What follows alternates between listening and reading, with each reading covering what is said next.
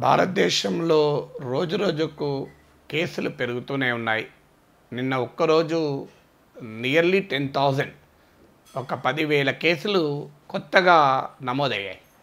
దీ ఈ ఇలా వీక్ వైజ్గా డేటాను కనుక పరిశీలిస్తే లాస్ట్ టెన్ వీక్స్లో ప్రతి వీక్ కూడా అంతకు ముందు వారంతో పోలిస్తే కొత్త కేసుల సంఖ్య పెరుగుతూనే ఉంది. ఇప్పటికీ సండే మార్నింగ్ వరకు మనకున్న ఐసీఎంఆర్ డేటా ప్రకారం Indian council for medical research data ప్రకారం దేశంలో రెండు లక్షల నలభై ఆరు వేలకు పైకి కేసులు నమోదయ్యాయి. More than two lakh forty six thousand. మరణాలు కూడా కొద్దిగా తక్కువ ఏడు వేలకు సిక్స్ థౌజండ్ నైన్ హండ్రెడ్ దాటిపోయినాయి. అంటే నియర్లీ సెవెన్ థౌజండ్ డెత్స్ కూడా రిపోర్ట్ అయ్యాయి. నిన్న నేను వీడియో పెట్టేటప్పుడు ప్రపంచంలో భారతదేశం టోటల్ నెంబర్ ఆఫ్ కేసెస్లో సిక్స్త్ పొజిషన్లో ఉంది. ఇటలీని దాటాము అని చెప్పాను. ఇవాళ ఒక్క ఇరవై నాలుగు గంటలు కూడా నేను ఆ వీడియో పెట్టి ఇరవై నాలుగు గంటలు కూడా జరగక ముందు ఈరోజు మన దేశంలో కేసుల సంఖ్య ఇంకా పెరగడం వల్ల స్పెయిన్ను కూడా దాటి ప్రపంచంలో మనం ఐదో స్థానంలో చేరాం. అమెరికా బ్రిటన్ రష్యా యూకే తర్వాత ఇండియా టోటల్ నెంబర్ ఆఫ్ కేసెస్లో ఇవాళ ఫిఫ్త్ పొజిషన్లో ఉన్నాం. కొత్తగా వస్తున్న కేసులు అంటే ఇప్పుడు ఇటలీ స్పెయిన్ యూకే ఇలాంటి దేశాల్లో కేసులు కొత్తగా రావడం బాగా తగ్గిపోయింది. ఈవెన్ అమెరికాలో కూడా కొత్త కేసుల సంఖ్య గతంతో పోలిస్తే తగ్గుముఖం పట్టింది. అందువల్ల జాన్స్ హాప్కిన్స్ యూనివర్సిటీ డేటా ప్రకారము మనము ప్రపంచంలో టోటల్ నెంబర్ ఆఫ్ కేసెస్లో ఐదో స్థానంలో ఉన్నాం. కానీ న్యూ కేసెస్ రిపోర్టింగ్ అంటే పాత కేసులు పక్క పెడితే కొత్తగా వస్తున్న కేసులు తీసుకుంటే వరల్డ్లో మనము థర్డ్ పొజిషన్లో ఉన్నాం. మనము దీన్ని బట్టి మనకు అందరికీ ఒక అభిప్రాయం ఏంటి? మరి లాక్డౌన్ విజయవంతమైనట్లా? లాక్డౌన్ వల్ల కేసుల సంఖ్య పెరగకుండా నియంత్రిస్తామన్నామే మరి పెరుగుతున్నదే? భారతదేశంలో కేసులు అంతగా లేవు. మనం బ్రహ్మాండంగా నియంత్రించామని ఇంతకాలం చెప్పుకున్నామే. మరి అది నిజం కాదా? ఇవాళ వరల్డ్లో మనం నేను గతంలో చాలాసార్లు చెప్పాను. ఫోర్త్ పొజిషన్కు జూలై లోపల వస్తామని అంచనా అని.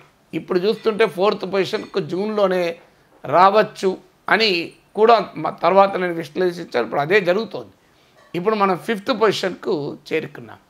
సహజంగా ఇది ఈ డేటా చూస్తే ఆందోళన కలిగిస్తుంది. కలిగించాలి కూడా. ఎందుకంటే ఇప్పటికీ మన దేశంలో కరోనా సోకని ప్రజానికాన్ని ముఖ్యంగా వృద్ధుల్ని పిల్లల్ని ఇతర రకాల అనారోగ్యాలు ఉన్న వారిని కాపాడుకోవాల్సిన ఆవశ్యకతను ఈ డేటా తెలియజేస్తుంది.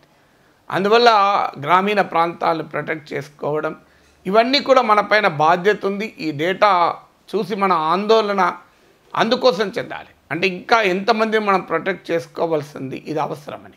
కానీ అదే సమయంలో బెంబేలెత్తాల్సిన అవసరం లేదు. ఇది నేను డే వన్ నుంచి ఇదే మాట చెప్తున్నాను.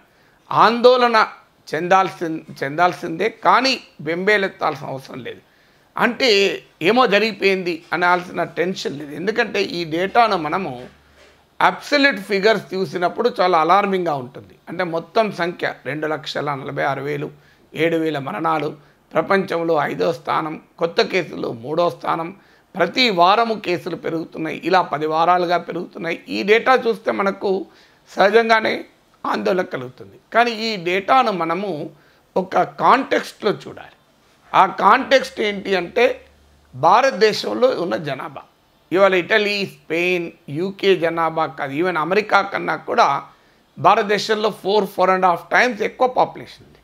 నూట ముప్పై ఐదు కోట్ల జనం చాలా జనసాంద్రత ఉన్న జనావాసాలు అంటే habitation with higher population density ఈ సమస్యను ఎదుర్కోవటానికి సమర్థవంతంగా పనిచేసే ఫిజికల్ డిస్టెన్సింగ్ హ్యాండ్ వాషింగ్ కూడా ఈ దేశంలో కోట్లాది మంది పేదలకు ఒక విలాసము. ఈ సామాజిక ఆర్థిక స్థితిగతుల నేపథ్యంలో మనం దీన్ని చూడాలి. అందువల్ల ఐసోలేటెడ్గా ఈ ఫిగర్స్ని చూడకూడదు.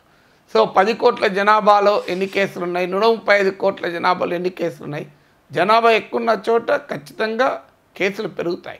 అందువల్ల మోర్ సైంటిఫిక్గా డేటా ప్రజెంట్ చేయడం ఏంటంటే నెంబర్ ఆఫ్ కేసెస్ పర్ మిలియన్లో మనం ప్రపంచంలో ఇతర దేశాలతో పోలిస్తే ఎక్కడున్నాం?